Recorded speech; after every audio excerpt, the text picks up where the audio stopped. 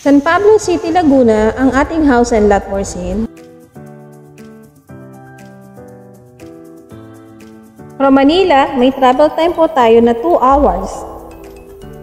5 minutes simula city proper. Malapit din po ito sa ospital, mga school, at public market. Ito po ang ating house and lot for sale. 10 meters ang frontage.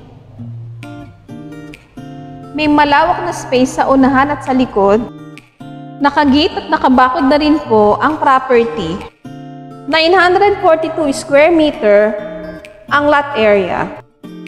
100 square meter naman ang floor area ng bahay. Tabi mismong barangay road ang property. Ideal for groceries. Good for investment din po ito. At may mga fruit-bearing trees. May mangga, guyabano, rambutan, at lansones. May kuryente na po ito, ang tubig, at may malakas na signal ng cellphone. Guys, sa ngayon po hindi po natin napasok ang bahay. Pinapaupahan po ito ni Ceder. Kung interesado naman po, pwede pong puntaan at i-view ang loob ng bahay.